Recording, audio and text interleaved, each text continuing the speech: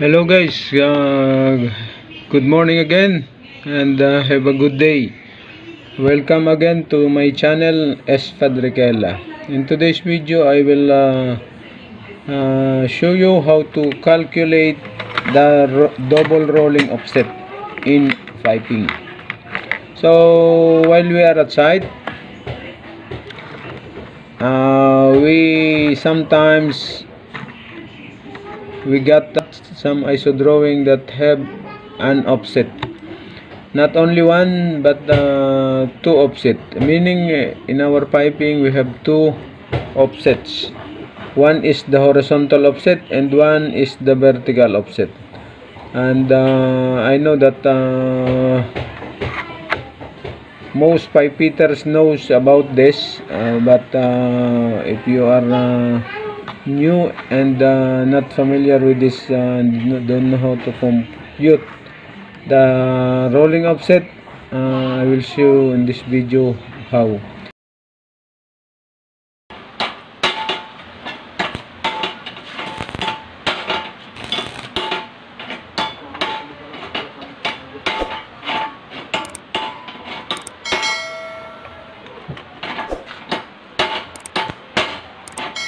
uh, to be able to know the offset first thing because uh, some uh, pipe fitters are confusing whether it is uh, vertical or hor horizontal. Uh, if we get the drawing and uh, we see uh, this line shaded line if the sh shadows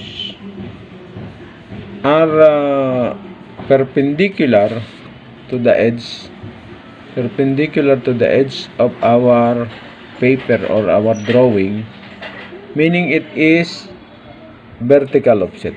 Vertical offset meaning it's uh, uh, going up or going down. And if it is not uh, uh, perpendicular horizontal offset is uh, the offset where there is a rolling but it is in the in the same elevation and uh, as a guide while we are uh, looking at the drawing our uh, north at the left uh, topmost of our isometric. So this guide will help us uh, to determine if it's going up and down. See uh, our north is on top of the isometric drawing. So meaning this line is uh, south from south to north. And if this line is from west to east. And if this uh, line which is perpendicular to the side of the isometric drawing it is uh, up and down. So it is uh, parallel to the up and down. So meaning our our offset is vertical. So this uh, line is perpendicular to the, north to south meaning it is horizontal offset going coming from uh, south going to north so I think it will uh, help us in determining whether it is uh, horizontal or vertical offset. So guys and uh, another information if we get the drawing uh, it's either our si site or in publication. Most drawing are incomplete in detail they are just giving the run they are just giving the set and another set is here. And sometimes uh, travel is not given travel here is not given and the degree for the vertical is not given the degree for the horizontal is not given. So uh, for that uh, uh, problem we will uh, learn how to calculate the double rolling offset. So for this isometry now uh, what we will need to do is we will get the dimension for the this this dimension. We will get the dimension for this uh, value given in here we will get the value of our travel. So if this uh, is our run this is our set and this is our degree here. So our formula is based on Pythagorean uh, theorem this is our uh, formula to get the travel. Uh, our formula is travel is equal city squared plus uh, run squared. Uh, it, it is square root square root of uh, ct squared and run squared. So the value we have got is uh, the 700 plus uh, 2000 squared uh, square root. So the total of this is 218.9 we already I already I already computed it and um, if you try just uh, compute it by yourself and uh, the number we got is 2118 the value of this is 2118.9 so now we are uh, now complete. We have uh, the travel for horizontal offset. Have the travel we have the set uh, what we need to do is uh, we will get the degree. To get the degree uh, our formula is this. Uh, degree is equal set divided by run equals shift tangent. So 100 uh, divided by 2000 equals uh, 0.35 shift tangent uh, and now the degree we got is 19.29 so our degree here is 19 19.29 19.29 and uh, now we are completed with that uh, horizontal offset. Now uh, what we need to do is we will get the degree for vertical and we will get the travel for vertical. To to be able to get our uh, the pipe pipe the length of the pipe to be cut. So our formula here is uh, the same with the the formula we use for uh, horizontal our formula is uh, travel is equal to ct squared plus uh, run squared what we have is 550 squared plus 2118.9 squared and uh, square root and we got is 2189 so this value is 2189 2189 so now we already get the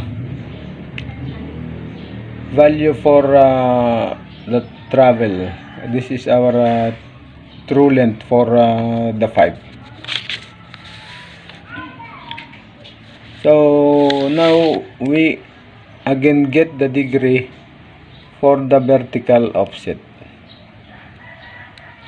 to get the degree this is now our formula. Same with the uh, formula we use for uh, horizontal.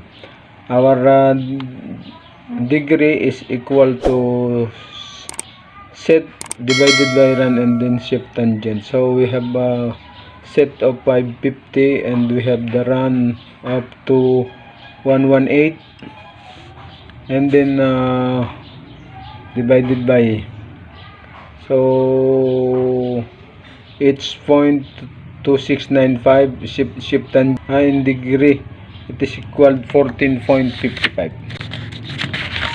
uh, we got 14.55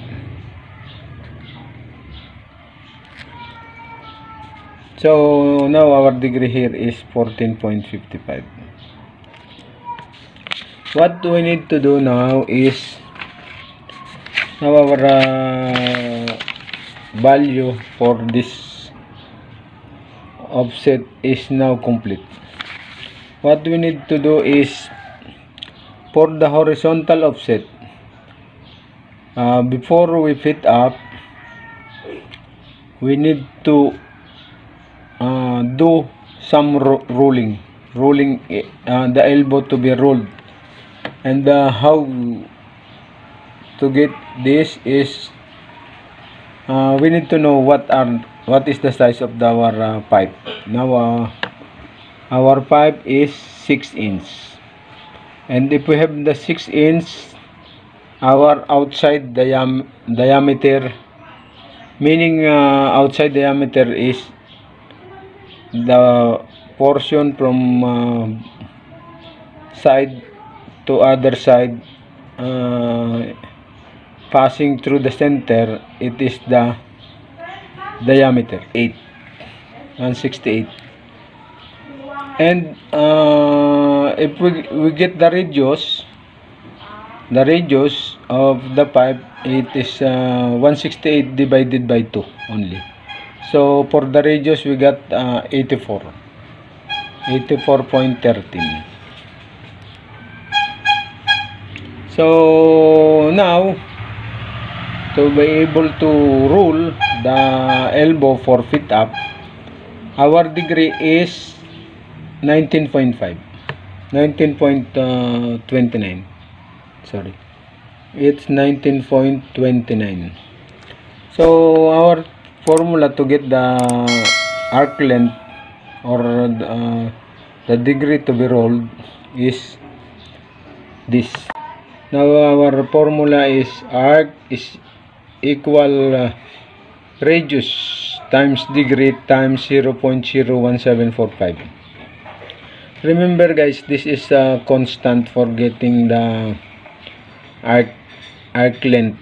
It, this is the formula 0.01745 but if sometimes uh, you tend to forget uh, this uh, you can uh, able to get this by pressing tangent 1 this is the value of the tangent 1 so our radius is 84 multiplied by 19.29 degrees and then multiplied by 1 by 0.01745 which is the tangent the value of the tangent 1 and what we got is 28.31 mm it is in millimeter. So guys uh, for example if this is our normal fit up on the elbow and our pipe is rolled uh, by 19.29 degrees. For 6 inch 19.29 degrees. So uh, we will uh, measure it 29 uh, 28.31 31 mm so to roll it is uh, from normal fit up you roll it where where uh, to go. For example if it is coming south to to north so you roll it you make a references here and uh, you you put mark on the both uh, elbow and pipe and then turn it with a 20 28.31 mm on the actual so now uh, we got the degree of rolling for horizontal. So for this uh, vertical offset, uh, usually our elbow is 90 degrees. So now in our uh, ISO there is a vertical uh, offset of 555. So to get the elbow is we have already 14.55 uh, degree here. So what we need to do is we will trim the elbow. If uh, our elbow is uh, 90 degree, uh, what we need what we need now is only 70 75 uh, 0.45 degree because we already minus the 45 degree. So now uh, we have 90 degrees minus uh, 14.55 degrees. So uh, for this um vertical offset. We need a trim trim elbow. And uh, to know how to trim elbow to do the trim elbow I, I will show you on my next videos. So that's all. And uh, I hope you got something uh, some information how on how to uh, compute I hope you got some uh, ideas. And if you are a pipeter uh, who, who want to learn more about piping there are some questions about piping that uh, need to know. Or you are uh, aspiring pipeter and learn uh, want uh, more about piping uh, hope you consider uh, subscribing this channel. God bless thank you for watching